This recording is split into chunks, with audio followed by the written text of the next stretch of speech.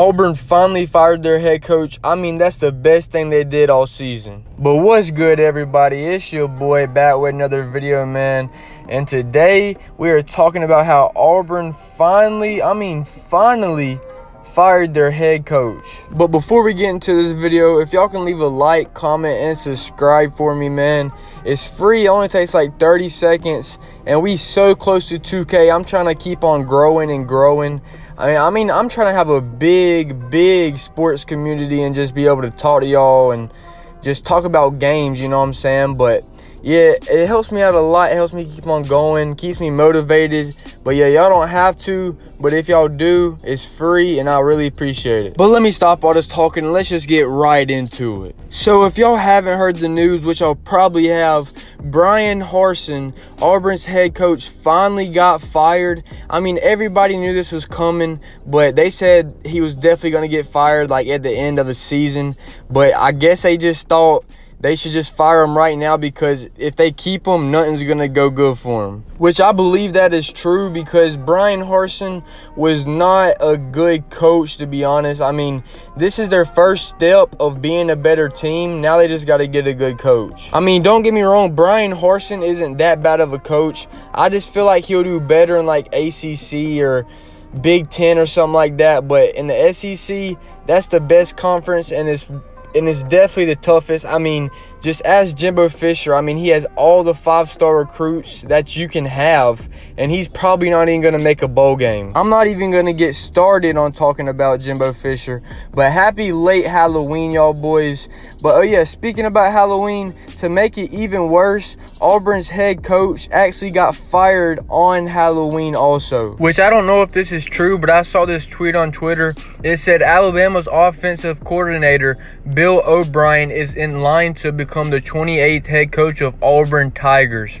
Now, if this is true, that's crazy because I do not see him leaving Alabama to go to Auburn to be their head coach, which I do see where he's coming from. I mean, he's an offensive coordinator at Alabama, and then he gets a chance to go to Auburn and become his own head coach. I mean, them two them two jobs right there are way different. But let me know in the comments on what y'all think about Bill O'Brien going to Auburn and becoming a head coach.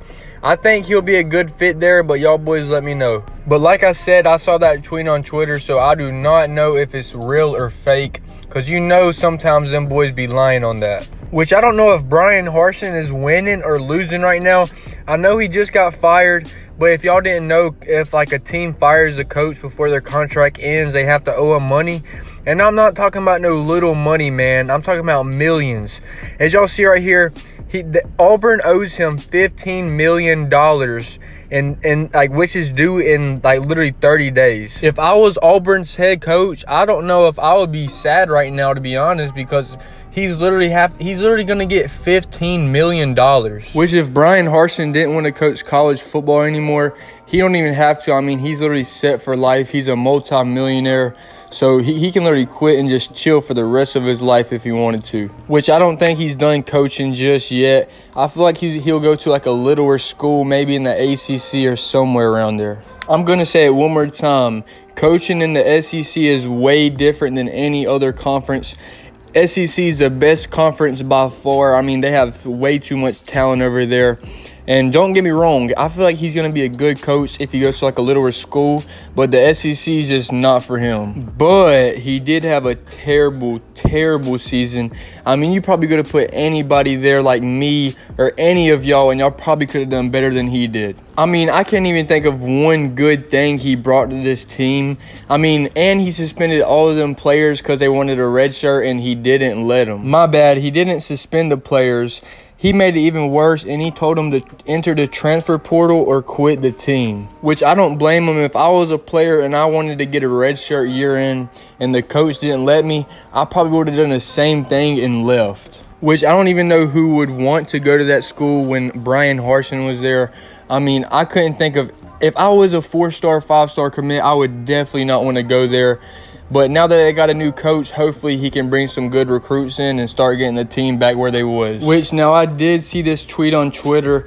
It basically said that Auburn's head coach was one of the worst head coaching hires in the history of college football. Which I feel like that's kind of true to be honest with you. I can't think of all the coaches off my head.